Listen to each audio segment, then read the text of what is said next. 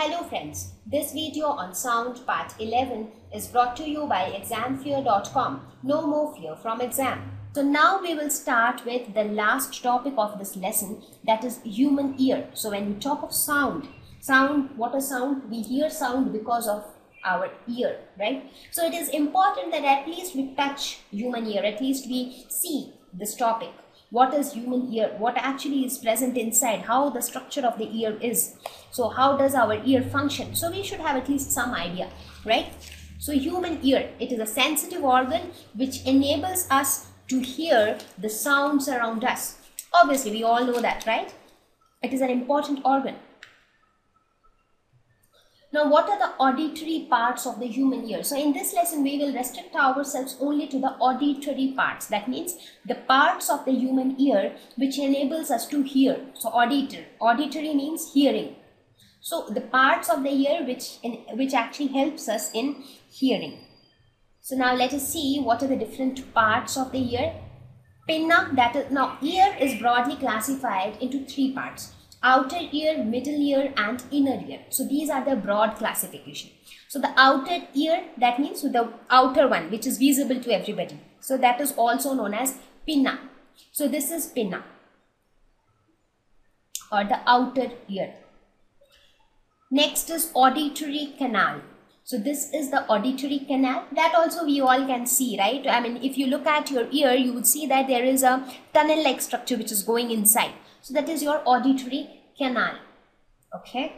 After that comes the eardrum or the tympanic membrane. So right, this is the auditory canal as you can see here. So this is your auditory canal. So this auditory canal goes and it reaches the tympanic membrane. So this tympanic membrane is also known as eardrum. Right? Okay. So after that comes the, then comes your middle ear so this also, when I talk of outer ear, this is your outer ear, right? Now when I talk of middle ear, this part is your middle ear. When I talk of inner ear, so this part forms your inner ear, right? So in the inside the middle ear, you we have three important bones that is hammer, anvil and stirrup. So in, inside this middle ear, you see you have these three bones hammer which is also known as malleus. The second one that is anvil which is also known as incus. And the third one that is stirrup which is also known as stapes. So these three one two and three. So these are the three bones which are present in the middle ear. Right? And then comes the innermost one that is the inner ear. And inner ear consists of the cochlea if you see this spiral like structure that is the cochlea and then you have the auditory nerve. Auditory nerve which is also known as the cochlear nerve sometimes. So cochlea and cochlear nerve this forms the part of the inner ear. So these are basically the parts of the human ear. Now, what is the function of each of them that we will discuss in the next slide. Now, other than these also you are seeing that there are certain other things. For example, there is an eustachian tube what is this eustachian tube? It is basically not an auditory part. That is why I have not discussed it, discussed it here. So eustachian tube is a tube which actually connects the ear to the nose. That is the nasopharynx. See, I don't, don't want to get into very much detail of nasopharynx and all because these are some things which we, you will study in your biology. So just remember that eustachian tube will connect the ear, that is the middle ear, to the nasopharynx. That is it will connect it to the nose right? Similarly you have vestibular nerve. So vestibular nerve is again a nerve which will connect the ear to another nerve in the brain. So that means these things eustachian tube or vestibular nerve they they actually do not help in hearing. They actually connect the ear to other different organs right? So here in this lesson we will restrict our studies only on these uh, auditory parts of the ear right? So let us see the function of each of the auditory parts and then we will uh, combine them together to understand the functioning of the ear how the ear enables us to hear the sounds around us. Let us start with the outer ear that is pinna. What is the function of the pinna? It collects sound from surroundings. Perfectly fine. So its its purpose is nothing else. It will just collect sound from the surroundings and it will pass it inside. So how will it pass it inside? With the help of the auditory canal. So sound passes through this towards eardrum. That means sound will it this one will collect sound and then it will pass sound through the auditory canal. So auditory canal will actually help in passing the sound towards the eardrum. Now what does the eardrum will do? The eardrum compression reaches eardrum moves it inward. So now whenever I talk of sound, what is sound? Sound is nothing but a wave. So that means the sound waves are traveling like this. So, so what are sound waves? They are nothing but vibration of the particles of the medium, right? Because sound waves are not traveling as such. They are getting propagated through a medium. Propagated through a medium means the particles of the medium are just oscillating, nothing else. That means the particle, the medium here is nothing but this air. So the particles of the medium will oscillate so when the particles oscillate here like this, so when the, when the compression reaches the eardrum, compression means the region of high pressure, right? That means the peak of the peak of this wave. This is compression.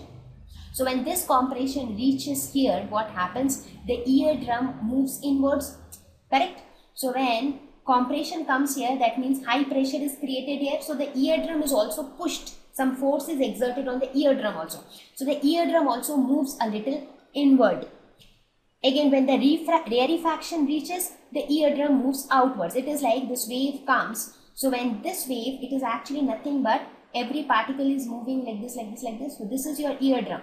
When the compression comes, it will push it inward.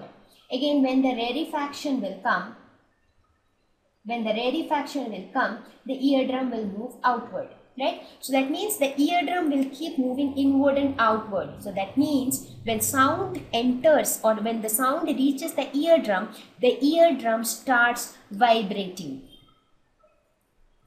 Right? So the eardrum starts vibrating. Then what happens? Then comes the middle ear. Now the middle ear, what is the purpose of the middle ear? Middle ear actually amplifies the eardrum vibrations. So as I mentioned in my previous slide also, outer ear consists of the pinna, then you have the external canal and the eardrum which will actually connect you to the middle ear right so in the middle ear you have three bones right which i it has three bones which will actually help in amplification of the eardrum vibration. So these three bones together constitute the middle ear. And the eardrum vibrations are amplified here. So the small vibrations because see the sound waves the rarefactions and compressions will uh, vibrate the eardrum to a very small extent but those vibrations are amplified by these three bones malleus, incus and stapes. These three bones together will increase or will amplify the eardrum vibrations. So then what will happen? The eardrum vibrations are amplified. Now the cochlea that is the spiral like structure in the inner ear what will this do? It will convert the pressure vibrations into electrical signals. So the cochlea will convert the pressure vibrations. So whatever vibrations are there, they are nothing but pressure vibration or you can say density vibration, right? Because it, it is formed by compression and rarefaction, correct? So these pressure vibrations will be converted into electrical signals by cochlea. Why into electrical signals? Because see, how do we see things? We see things with the help of our eye. But how do we understand what do we see?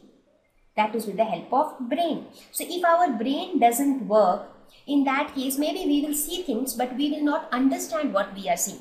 Similarly, when we hear things, for example, you hear a pleasant music. How do you know that you are hearing a pleasant music? That's because whatever you are hearing that is being interpreted by your brain. So your brain is telling you what you are actually hearing, whether it is a noise or it is a pleasant music. So that distinction is done by the brain. So now in order that your brain understands what you are hearing, the whatever the uh, signals are coming, that has to be electrical signals because brain can understand electrical signals right? So the inner ear will convert the pressure vibrations into electrical signals and these electrical signals are carried from ear to brain with the help of auditory nerve. right and then the brain will interpret what you have actually heard so you will then you will understand what you actually heard right? But this entire process takes place within a fraction of a second and that is why as soon as we hear something we understand what we are hearing right? It, it doesn't happen that you heard something and you take a lot of time to understand what you heard. Everything happens very quickly that because that's because this entire process happens real fast. So now let us try to put everything together. So what happened from beginning? Let us suppose there is some source of sound somewhere some noise is coming up so this pinna will collect the noise. It will send the sound waves through the auditory canal. Now because of this uh, sound waves, the eardrum will start vibrating. So these vibrations are nothing but pressure vibrations. Now these pressure vibrations are amplified by the middle ear that is the three bones of the middle ear and these pressure vibrations are then converted into electrical signals by the inner ear by cochlea and these electrical signals are then sent to the brain through this cochlear nerve or which is also known as auditory nerve. So then brain will interpret what we have heard. So this is how the human ear helps us to listen the sounds around us. Right? So I hope you are clear on this part. Thank you. Please visit examfear.com to watch free educational videos, try free online tests, get the best quality study materials, study from the best tutors and mentors, and much more. Thank you once again.